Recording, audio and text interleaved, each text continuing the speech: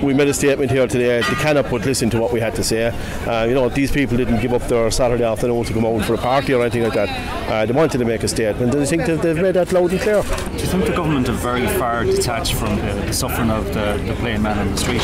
I, I do, yeah. I think they're very, very far detached because they think it's a great deal. They think it's all over, and they think they can move on to the next thing uh, in government, which is probably bringing in legislation about um, weeds or something like that. It's so ridiculous that they run off there in the middle of the night and bring in that type of legislation without consulting with the people that we elected, uh, whether we like it or not, whether they're people in government parties or in opposition parties, they are the government and they should have been given an opportunity to um, put the legislation to the opposition parties uh, for them to um, question the government and to, to test the whole constitutionality of it. And when you heard that there was a deal on the promissory note, what was your opinion on that? Well, I didn't jump up and down. I had a lot of uh, business to do getting this march ready, so um, I wasn't really excited about it, to be honest with you. Uh, who would be carrying a debt like that for the next 40 years and handing it down to our children? Do you think things would be any different if it was if we were still under a Fianna Fáil?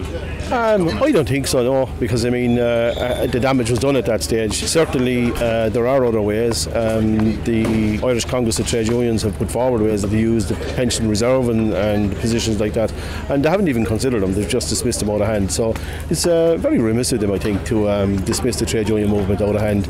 And as you saw today, this wasn't just trade unionists. Their families are here, their children are here, uh, and people who are members of no trade unions are here.